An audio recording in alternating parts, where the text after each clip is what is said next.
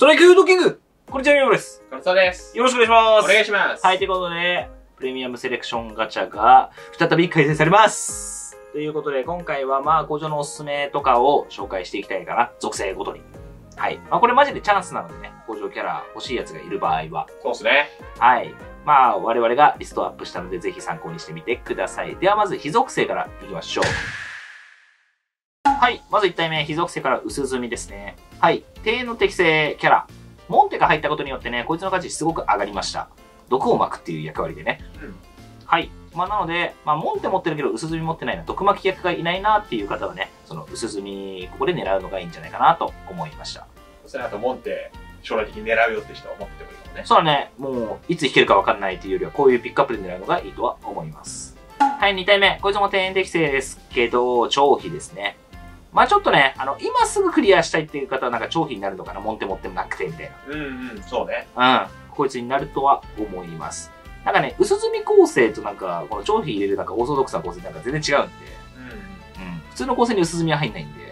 だから将来的にどういう構成にしたいかみたいなのも考えた方がいい。考えた方がいいかもしれません。まあだけど普通にやるんだったらこの長飛はね、爆発を持ってて、まあサムネとの合わせもいいし、普通に壁とは偉いよね。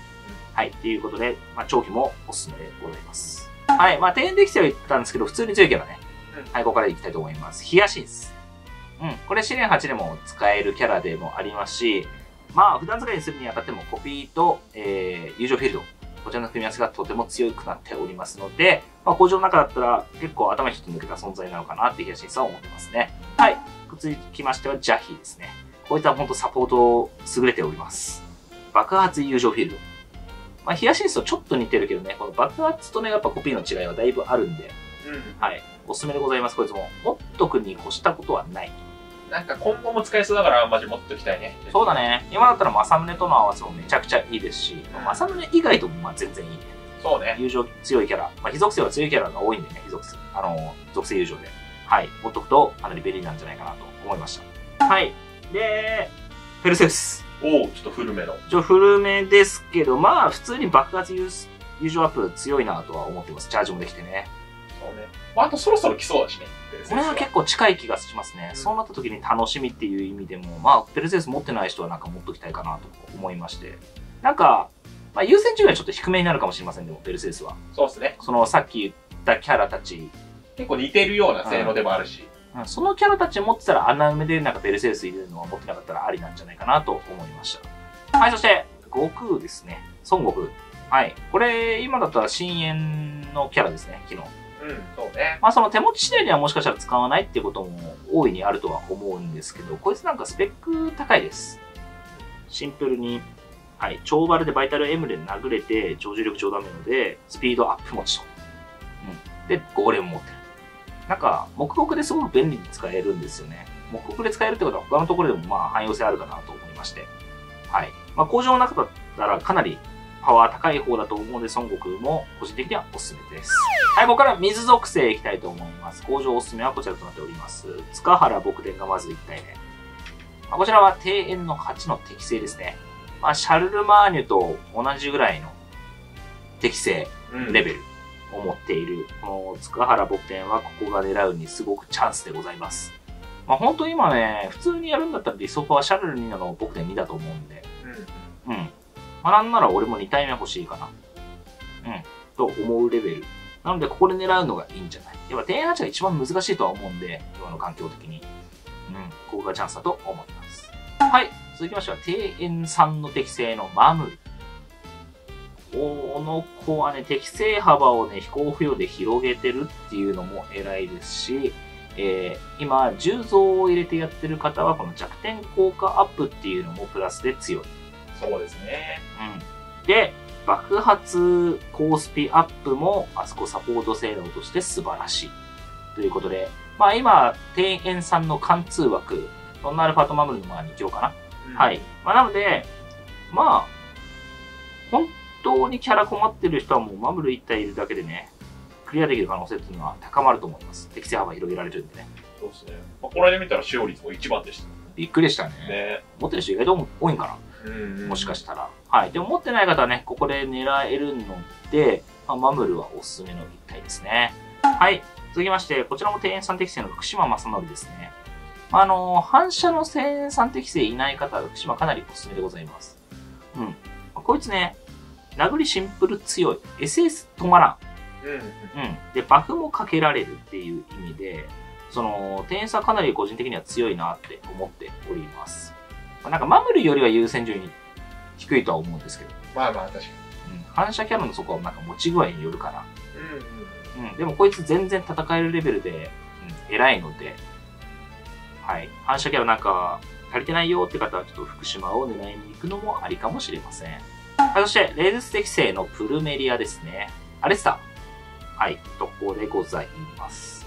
はい、こいつ、なんか今、えー、サヨナラグラビティ入りましたけど、全然パーティーに入れられる、うん。うん、入れ込む隙のあるキャラだと思いますので、まあ、コネクションの解放とかは必要になってくるかもしれませんが、全然戦えます。めちゃくちゃ強いです。はい。なので、プルメリア、アレスター苦戦してる人、まあ、サヨグラそんなたくさん持ってないよっていう人はね、これ狙うのもありなんじゃないかな。うん、俺も入れてます、今。うん。うん、サヨグラ2にプレメリア2 6みたいな形をとってるので、はい、こいつ遅延があって安心感もあって、すごくいいと思います。はい、私もアレスター適正の佐々木小次郎ですね。まあ、こいつちょっとサヨグラが出てきて、ちょっと追いやられてはいるんですけど、そうね。まあ、サヨグラの持ち具合によるかな、これは。いや、まだまだ少ないでしょ。うん。持ってる人少ないとは思うんで、うんそうしたらまあ、とりあえずこの工場を引いとけば、まあ、つなぎにはなりますね。サヨグラ引くまで。そうですね。はい。まあ、パーティーによっては全然サヨグラ入りで、全員マインキャラにするとかね。ああ、なあるほどね。ってるか。まあわかんない、それは。個人的にはわかんないですけど、まあそういうのももしかしたらあるかもしれないっていうね。まあ小次郎とかも一応ビッグプールには入ってくるんじゃないかなと思いました。はい。そして、相変わらずの角花レンジロまあ、こういう時ずっといるな、レンジローは。ー。いやね、もうレンジローいねえと無人だから。いや、レンジローいねえと無人のよ。うん。アーキレットはね。はい。まあ、アーキレットの価値はちょっと最近落ちたかもしれませんが、まあちょっとね、空中天度で環境変化でね。はい。まあ、もし出てきてしまった時にはもうこのレンジローのお世話になると思うんで、はい、持っとくのが安心かなとは思います。はい、貴族性ですね、ここからは。はい。まずは庭園5適正の赤マナですね。相変わらず強い。うん。まあ、相変わらず入れてますね、僕は一体は。はい。まあ、バフ配れるのも偉いし、殴り力も偉い。はい。庭園5、まあ、今来てまして、適正キャラ、まあ、困ってますよって人はもう赤マナクは引いてください。はい。まあ、原初にして最強格っ。ていういいキャラだと思います。はい、そして再び庭園5適正ですけど、伏せ姫。はい。こいつめちゃくちゃ偉いっす。俺もこれ入れてますね。レギュラーで。まあ、やっぱナイトメアとかの相性もいいしね。そう、ナイトメア赤マナクの、えーその魔法陣状態を解除できる。うん。それがとても強い。で、シンプルに、その、超原則キャラでバランス型。はい。という感じなんで、かなり活躍できますね。うん。うんバブリーギフトとかも、ナイトメアとか赤マラクのサポートもできますし、うん、すごくいい一体だとは思います。あ、ここ持ってない人は、引いておくと、庭園後楽になるかもしれません。はい、そして、まあ、サポート寄りのキャラですけど、ユグドラシル。うん、個人的におすすめです。こいつ3体目に味方に当たるだけで、ターンチャージ L と攻撃攻撃チャージ S、バリア付与、この3つのサポートをね、付与できるんですよね。これがとても強いです。はい。で、まあ、自身の殴りも強くて、友情も仕事できると。まあ、マジで隙のないキャラですね。素晴らしいね。素晴らしいキャラ。まあ、実際もう必須で使うってところ、今のところちょっと少ないかもしれないですけど、このスペックの高さだよね、魅力的なのは。うんうん。はい。こいつは持ってなかったら、ちょっと怖いなっていう雰囲気もあるので、まあ、その貴族性なんか庭園適性とかも、そこら辺持ってる穴埋めどうしようってなった時、ユグドラシル持ってない人はね、ぜひ狙ってみるのがいいと思います。はい、そして、ギムレットですね。うん。こいつも強い。新重心化してなんかね、変わりました。ただのサラダから、ここまで貢献できるようなキャラ。うん。はい。しかも接待も最近やっぱ多めに入ってるイメージもありますね。そうですね。はい。まあ、やっぱりヒダメージ多く受けるステージが多いのに対して、アシストスキルの未属性と無属性耐性はこれ優秀っすよね。はい。まあこれから先はどんどん接待されていくかわかんないですけどね。けどまあ、あ、穴埋めでどこにでも行けるタイプだから、これは。間違いない。うん、かなり強いよねア。シストスキルとね、ショットスキルがね、偉いからね。うんはい。。ということで、ギムレットもかなりスペックが高いという意味で、持っておいて損はないんじゃないかなと思いました。はい。そして、まあ今だったら、えーアジテーター適性でもあるスノードロップですね。うん。こいつは強い、本当に。試練でも強いね。試練でも強いね。その、薬物サポートとか、まあ、内地のサポートでもいいか。うん。うん。まあシンプルになんか、サポーターとしての欲しいものを全て揃えていると。うん。プラスで、うん、適性もちゃんともらっちゃってるっていうね。そうね。うん。まあ、だから両面の活躍が期待できるんですよね。はい。まあ、今でもかなり使ってる人は多いんじゃないかな。このスノードロップは工場ガチャ券ですので、ここで狙うのチャンスですね。はい。続きまして、光属性でございます。はい。まずは、庭園に適正のシードル。うん。庭園、本当フリーレン持ってなかったらもうシードルは本当マストレベル。もう選択肢ないですね。シードルで行くしかほぼ。マジで、え、工場シードルしかおらんよねっていう感じなんで、まあ本当庭園に困ってる方はもうシードル絶対狙ってください。うん。まあ今の環境必須レベルなんじゃない？フリーで持ってなかったら。そうですね。はい、そして庭園7適正の犬塚志乃でございます。まあ限定が今ブイブイ言わせてる庭園7ですけど、はい、普通にオーソドックスな構成を組むならこの犬塚志乃は欠かせないでしょうね。うんやっぱ SS でのやっぱり一撃性うん。まあラスゲとかめちゃくちゃボス削り難しいんですが、こいつの SS をちゃんと当てれれば終わるよね、みたいな。はい。まあこれを工場でしてるのはやっぱエグいよね。はい。まあなので、まあ激鱗とか、まあクリムトとか足りてないよっていう方は、ぜひここで死のを狙うのがいいいいかと思います。はい。そして、冷絶適性の源の為友ですね。うん。こいつは、まあエンベゼラの適性。まあ、今ね、モールスアルファ来てるので、そこはなんか自分で何使うかの相談にはなるとは思うんですけど、うん。なんかボスをワンパンするっていう感じでしたら、タミトモはマストになりますし、うん。ここで狙うのもありかもしれません。あとはもう終了するんですが、2階の5、2階の大地でも刺さります。はい、そして、まあ、エンビゼラの貫通枠ですね。はい、アユタヤもいけますと。まあ、モールスアルファが入ったことによってドキランも入って、さらに立ち回りやすくなりましたよね。なんか夜アルファがかなり重要なんで、あそこ簡単に積むには。うんだけど夜アルファって今引けないので、そうした時貫通枠はもうああいうタイヤになってきちゃうかなって個人的に思いました。じゃあ、夜アルファ持ってるか持ってないかで。そうだね。うん。それでなんかぶち込むのがいいかなと思います。はい、そして、まあこれはサポート枠なんですけど、ヘラですね。こいつはめちゃくちゃ優秀だと個人的に思っています。はい。こいつもマジであれあれだね、ユグドラシに似てるね。そうだね。うん。まあ、バリア付与、SS ターンチャージ、飛行付与。まあ、3つの効果が付与できるわけですよ。3対2当たったらね。まあ、特に飛行付与が強い。うん。はい。マムルでも思った人いると思うんですけど、やっぱ適正の幅広げてるってやばいんですよね。そうなんだよね。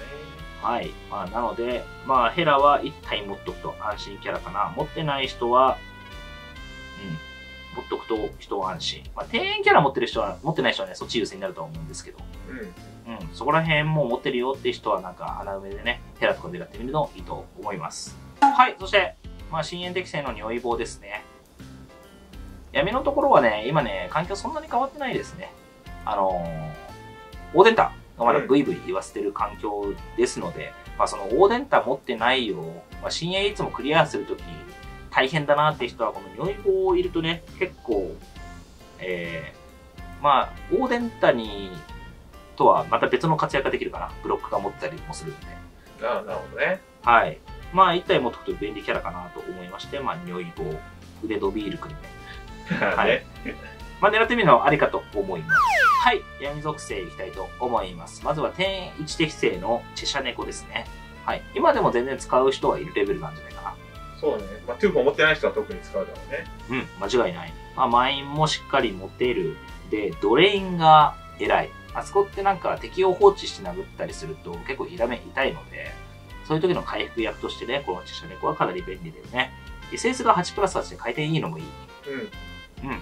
まあ、なので、1位の適正結構困ってるって人は、このチェシャ猫を狙うのいいと思います。はい、2代目、ゴッホでございます。まあ、ちょっと金券の到来でね、ちょっと影が潜めてる気がするんですけど、うん。まあ、金券持ってなかったりしたら、ゴッホが活躍できるのは、ところがかなりありますね。ワープ転送枠で、まあ、未開だったりとか、あと、深淵ですね。光の深淵では、うんマジでこの8ターンで打てる、弱点ヒット大ダメージが強いので、うん。三戸光圀と合わせて、もうボコボコにしてやってください、広告は。はい。まあ、かなりね、工場の中だったらパワー高いキャラだと思います、僕は。はい。そして、モンタナですね。こいつは不可思議の、えー、トコキャラ。うん。はい。まあモンタナいないとやりたくないですね、不可思議。うん。まあ、なので、まあ、ここ、まあ、不可思議っていう特攻、まあ、レンジのみたいなポジションですけどね。そうだね。うん、持っとくと安心かな。で、複数台使う可能性もこいつはあるんで、全然。はい。まあなので、ここで狙うのがいいかもしれません。はい。そして、モスコミュールですね。こちらサポート枠になるんですけど、まあ、未だにやっぱ爆発防、防御アップ。こちら偉いですね。まあ、ルシファーもまだブイブイ言わせてますし、この SS とかも役に立つんじゃないかな。うんうんうん。うん。まだ闇属性の中だら全然生きしてると思いますので、サポートキャラ足りてないって人はおすすめです。はい、そして、雑にショコやりたいテセウス。うん。まあ、これも相変わらずだよね。相変わらずだね。うん。テセウス界トップ。まあ、アルファさんとか言いますけど、ってことねまあ、。シャイニングピラー界トップかあそうだね。そっちの言い方がいいな。な。うん。はい。まあ、なので、まあ、雑にやりたいって人は、うん、いいんじゃないかなと思いますね。はい。まあ、そろそろね、ショコやらなきゃいけない時期かもしれないしね。そうだよね。なんか周年とかで毎回リセット来てるイメージなんですよね。うんうんうん。うんまあ、なので、なんか、諸活活するのにテセウスは便利なので持ってない方はいいかもしれません。はい、ということで、結構絞り込んでね、はい、選んだつもりです。うんうんうん。はい。やっぱ優先度は空中点。空中庭園。まあ結構その特性ごとなんか最初の方に挙げたと思うんですけど、庭園適正キャラっていうのが、うん。まあ、メインになってくるんじゃないかなと思いました。まあ、このタイミングでプレミアムセレクションの会社出すっていうことはやっぱ庭園やってほしいっていうメッセージだとは思うんですよね。まあ、確かに。うん。なので、庭園キャラをぜひ揃えてください。はい。まあ、あのー庭園級のキャラとかね、結構工場もいるんですけど、あえてピックアップしませんでした。うんうん。うん。なんかどうなのかなと思って。まあ、メイン側じゃないのが多いしな。そうそうそうそうそうそう。一応ね、マルスとかね、いるいるけど、まあなんかマナー足りてないって人はぜひその辺もありかなうん。とは思いますね。うん。あと6のキャラいなすぎ。あ、そうね。庭園6だってさ、工場でいけるのさ、このプロキオンとかさ、になっちゃうんだよね。このバナーにもいますけどね。他にもいますけど、なんかちょっと適正的にどうなんかな、これって。まあいけるけど、うんうんうん。いけるっていう感じです。なのでそういうキャラは、今回ピックからちょっと外しちゃったかな。あなるほどね。うん、っていう感じです。まあ、どうしても足りてないっていう方はね、まあそこら辺も選ぶのもありかなと思いました。はい、ということで、今回は以上です。はい、少しでも参考になればいいと思います。ご視聴でした。ありがとうございました。